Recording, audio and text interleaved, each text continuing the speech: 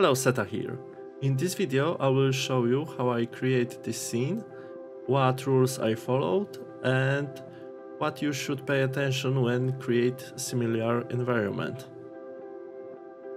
When I start building this scene, I placed the camp as the first because this is the most important point that the player should have.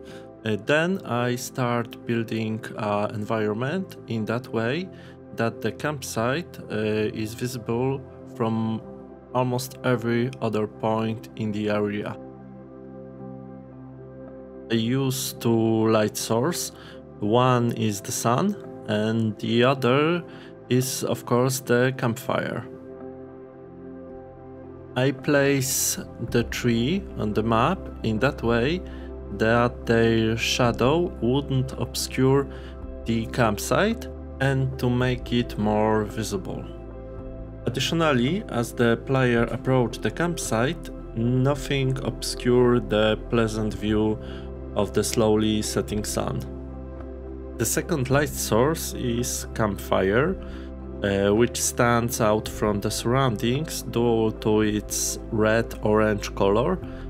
Uh, even when observed from a distance, uh, the campsite should be visible. When it comes to a level design, it is important to remember that the light is the one of the elements that lead the players.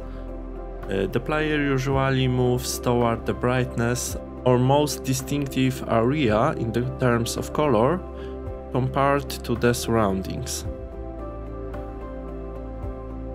Another element that leading the players is so they call uh, guiding lines and in this case it is the road but it can also be elements such a large branch pointing in that direction uh, or the layout of the tree. As for the campsite itself, I want to create an impression that it was a good place to build a shelter, so create a natural barrier in the form of the rocks to provide at last uh, one side of the shelter from the wind. I placed some rocks and a large number of sticks nearby uh, to suggest that you don't have to go very far to make a camp. I also placed some branches inside the shelter that didn't have to snow on them to simulate some kind of bed.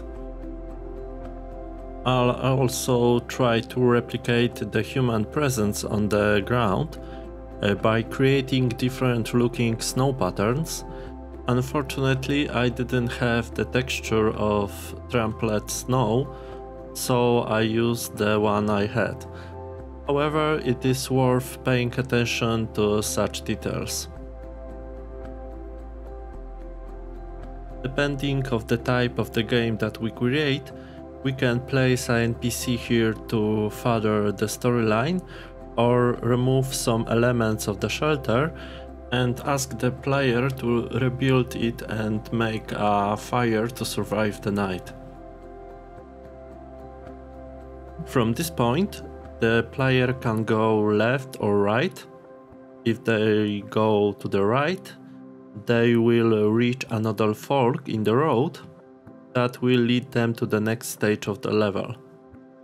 Or we can always direct them with some small elements to divert them from the main path.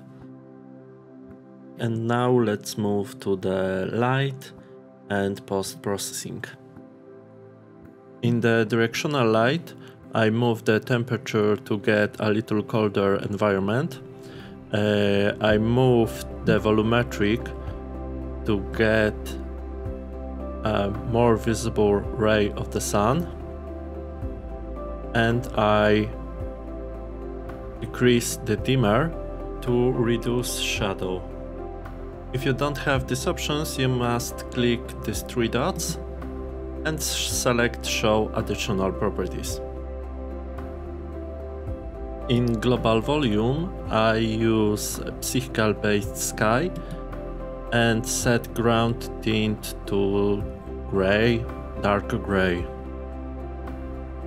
and in the fog I rise a little base high and decrease the fog distance and then I want to the uh, fog have a little blue tint so I create a gradient between a light blue and white. Next in the shadows midtone highlights I rise a little shadows and give them a more blue tint. We have our white balance so I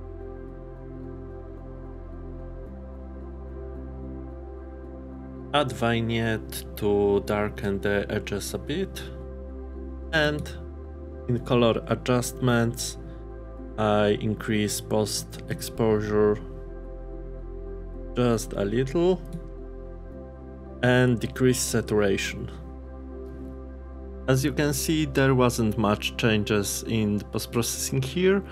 Uh, the rest like shadows was set to default except the volumetric clouds, but about this I will prepare a separate tutorial only about clouds. Okay, that's all for this video.